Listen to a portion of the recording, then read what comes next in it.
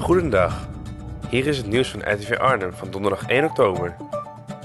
Dit keer met onder andere koper voor ING-pand,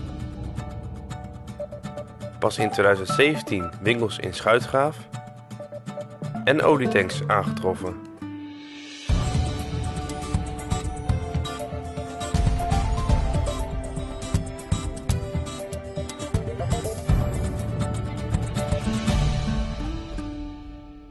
Sneller dan werd verwacht is er een koper gevonden voor het immense hoofdkantoor van ING aan de Velperweg.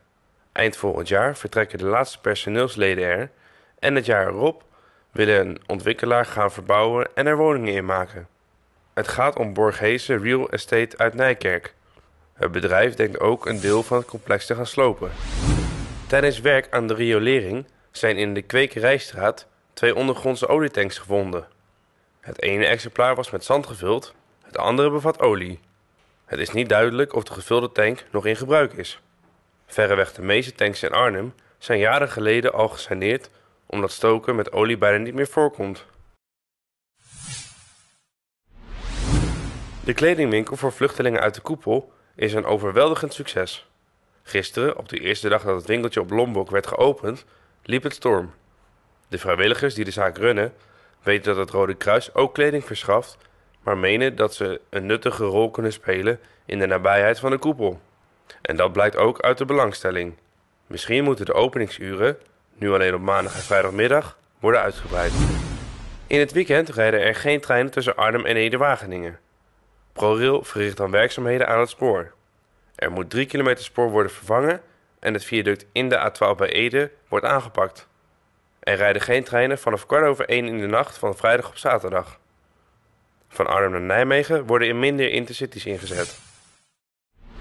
Inwoners van Arnhems nieuwste wijk Schuitgraaf kunnen pas in 2017 een nieuw winkelcentrum verwachten. Dat betekent opnieuw uitstel, want in juni werd nog aangenomen dat het eind 2016 al zover zou zijn. Er komen 21 winkels en 64 woningen. Elf jaar geleden kregen de eerste wijkbewoners de sleutel van hun huis. Er zijn al wel noodwinkels in de wijk. Tot slot het weer. Het was vannacht fris en daarna gingen we een fraaie zonnige dag tegemoet. Het werd een graad of 17. Vanavond en vannacht blijft het helder en wordt het 4 à 5 graden. Dat kan vorst aan de grond tot gevolg hebben. Morgen zijn er wat meer wolkenvelden. De temperatuur is hetzelfde als die van vandaag. Dit was weer het nieuws van RTV Arnhem. We wensen je nog een prettige dag en graag tot morgen.